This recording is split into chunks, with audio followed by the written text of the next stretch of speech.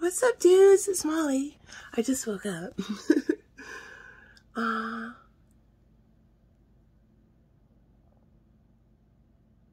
somebody may take someone out to eat. Someone may cook for someone. Mm-hmm. This is the person who shared the recipe. All right. So guys, yeah, uh, I hear, I'm gonna make some coffee while I'm, oh, here we go. Hold my hand. We're going through the dark part. I know the way. All right. So yeah, we have uh, somebody here who's learned the lesson. Yeah, okay, I hear stuck up bitch. Okay. yeah, this person may have behaved like a stuck up bitch. Oh, we got two people. Okay. We got Goofus and Gallant. Okay.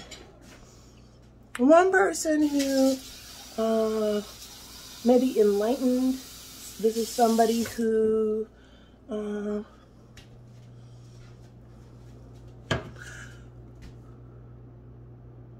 okay.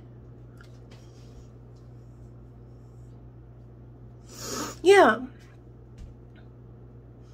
South America might mean something. Chile may mean something. I have Buenos Aires. Okay, Argentina might mean something.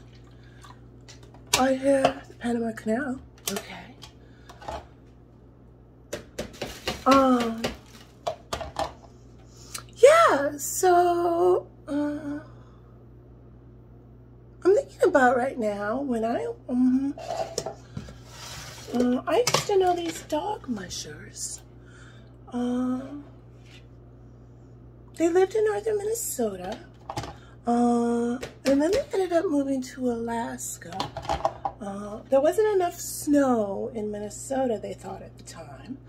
And they wanted to, yeah, they were getting pulled further north. Yes. And, uh, yeah, the name Carrie may mean something, or Stuart. Yeah, old friends that I knew a long, long time ago. I uh, I went on to Alaska and stayed with them one summer, and uh, yeah, it was pretty funny. It was uh, yeah the first night.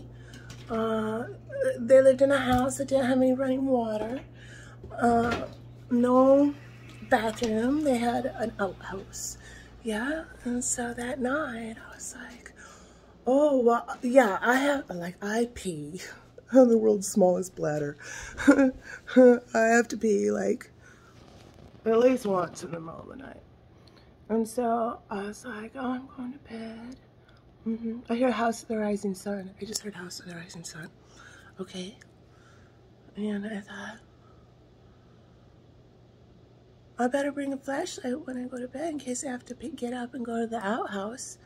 And I was kind of scared. Oh, I'm looking at the bee. A beehive might mean something looking at the honey pot right here.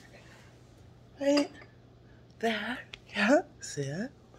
Balik, China island might mean something. So, yeah, so I brought a flashlight with me, went to bed. Woke up in the middle of the night. Yeah. Oh, gotta go. Yeah. Oh, wait, what? Oh, yeah. Uh, it was the time of year where uh, the sun shines the whole time. Yeah. So it doesn't get dark. I didn't need a flashlight. yeah, the darkest it got at the time was uh, like dusky, like dusky, dusk kind of, or a twilight kind of light. Yeah. Uh, okay yeah, I remember mm -hmm,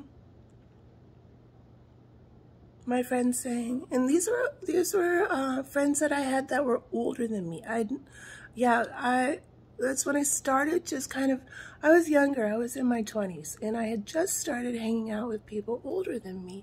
I love hanging out with people older than me.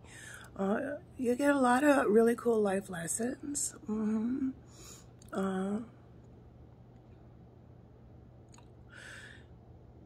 yeah, and Stuart said we're in bear country. we gotta shoot, we're, we're gonna shoot the big gun. And so we all went out back. Mm -hmm. He got this big pistol gun. I don't know. I hear 44. I don't know anything about guns. It was a big, it was like, whoa. Yeah, it was a bear gun, you know. And Stu said, does anyone want to shoot it? And it was, uh, I was like, oh my God, I've only shot, I shot a 22 caliber uh, gun once at, uh, at a Target uh, in someone's backyard once. Uh, I actually kind of like target shooting. I'm not a huge gun enthusiast. Uh, um, but that was that was fun. I was pretty good at it. I didn't know that.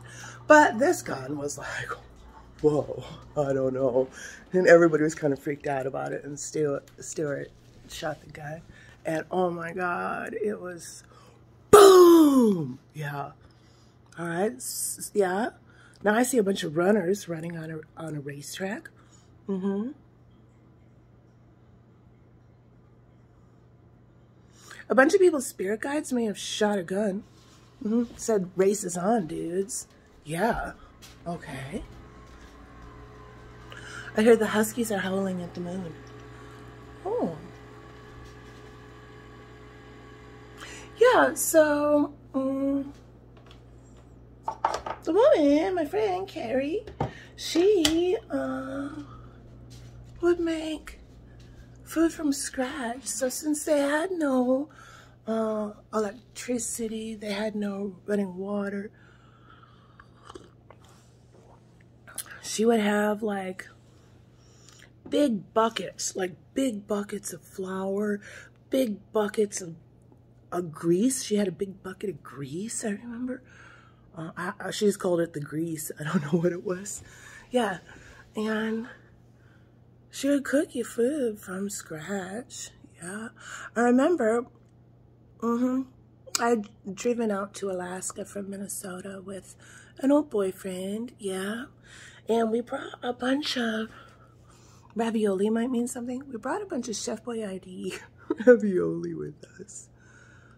Because uh, we were kind of like camping on along the way to Alaska, and we took our time getting out there. Mm-hmm. I hear hot springs. Yeah, a hot springs might mean something. Somebody may go to a sulfur spring. Yeah. All my jewelry turned black. Yeah, we stopped off at a sulfur spring in Canada on the way. Yeah, jumped in. Came out smelling like rotten eggs and all my silver jewelry was black. It was crazy. Yeah. All right. So yeah, Carrie was an excellent cook. Uh, mm-hmm. Fry bread. Fry bread might mean something. All right. So we have the stuck-up bitch who wouldn't share their recipe. Yeah, Carrie got this fry bread recipe. She was friends with a Native American person uh, back in the 70s, and uh, her Native American friend taught her all like um, some traditional Native American things and taught her how to make fry bread. All right. It was delicious. It was absolutely delicious. Yep. And, uh-huh. And, yeah, it's one of those things, too, where you're getting delicious food after a long, hard day of work, a long, hard day of taking care of dogs, a long, hard day, yeah. All right.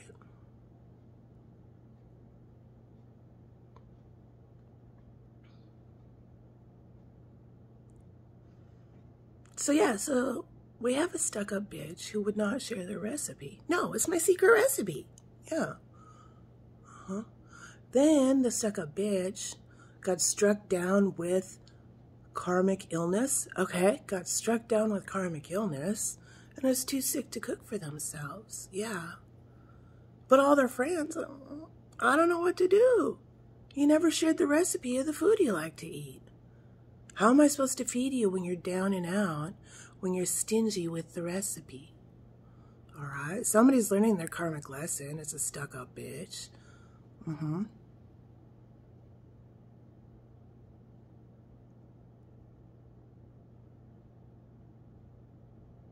Okay. I'm learning about, yeah, I'm learning about. Somebody may be discuss, uh -huh, discussing, okay. I hear the great potato, uh potato famine, potato, uh -huh, potato, uh -huh. A bidet might mean something, right?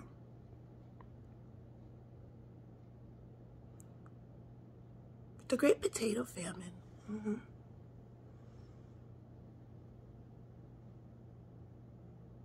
In Ireland. So we had all these people. Mm -hmm. If you ever go to Ireland, dude, yeah, make sure you really check out how. Now, I haven't been to Ireland in 23 years. It was in 2000 when I went to Ireland. But when you're driving around Ireland, you'll notice all these rock walls. Uh, Ireland, uh, a lot of times the land is very separated and you see like rock walls. Uh, along the road, you see all these rock walls. Mm -hmm. And it's easy to say, oh, yeah, oh, that's quaint, oh, that's cute, yeah. Every one of those rocks mm -hmm, were dug out of the rocky, rocky, unproductive ground. Mm -hmm. The ground was filled with rocks, but the soil in between was really good. Yeah. So every one of those rocks, you guys, came out of somebody's field that they toiled and worked to clear that field of all those rocks so they could use that land and make it something productive. One human being pulled out each of those rocks one by one mm -hmm. and marked off where their land was. This is the land that I am harvesting, okay? Harvesting. Yeah. And the Great Potato Famine happened. Yeah, so a, a lot of Irish people, mm -hmm, if you don't know about the Great Potato Famine, uh, very poor people. Mm -hmm. And there was a, and, and the Irish lived off potatoes. Yeah, it's what they could grow in that soil. Mm -hmm. But there, uh, yeah, that year there was like, a, at those years, yep, there was a crazy fungus that made all the potatoes rotten and the staple food that these people survived off of. There are people, yeah, there are people who only ate potatoes. That's all they had. Yeah, was instantly cut off. And everybody started starving. They called it the bad times. Mm-hmm. News came to, to the United States. I hear Minnesota. Okay. News came to the United States that there's a great potato famine happening in Ireland. That's when the Irish immigrants started uh, coming to the United States. They had nothing to lose. They were dropping. They were dying. They were starving out there. Mm -hmm. I hear the Atta girls. Mm -hmm. The Titanic may mean something. So, mm -hmm. So a Native American tribe here in uh, the United States. I hear Lakota. I'm not quite sure what tribe it was. Mm -hmm. I have a blog on it. I hear Sioux.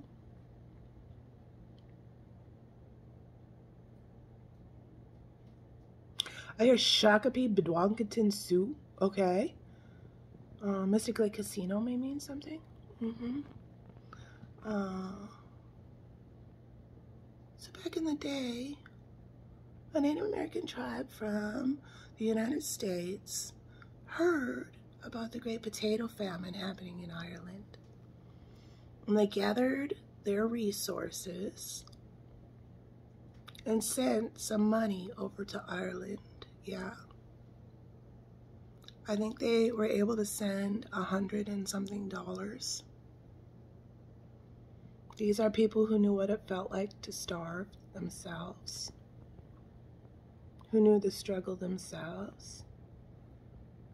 And back in the time, mm -hmm, I hear hoop dance. Yep. Mm -hmm.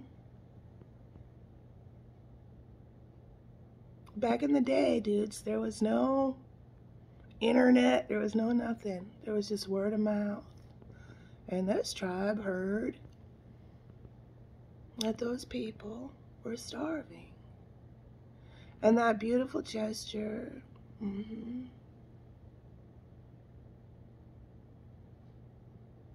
we, yeah, we don't have a feast for you, but we have some money in case you, you come across something you can buy. What an amazing gesture. Yeah. So, yeah. Mm -hmm. Now I'm seeing uh, Dallas might mean something. Dallas, Texas might mean something. Yeah. I'm seeing the TED Talk. Yeah. About Native American hoop dancing in the circle of life. All right. Spirit's asking us all to watch that. There's a TED Talk, yeah, by a man named Dallas, where he talks about, uh, mm-hmm,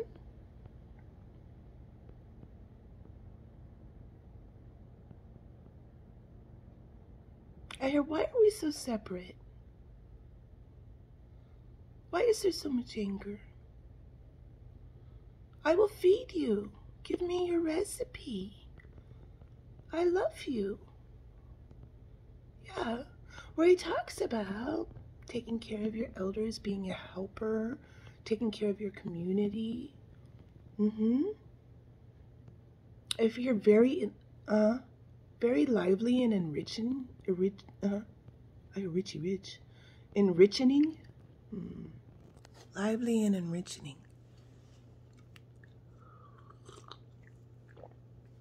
So if this is resonating with you, darlings, yes, Spirit's asking you to watch that TED Talk. I will link it down in the comments. Yes, we can all learn something. Hmm, somebody may do the hula, their hula hoop. Mm -hmm. We can all learn something from Dallas. All right, darlings. Peace out. I love you. I hope you have a wonderful meal today, darling. Whatever it is you like to eat.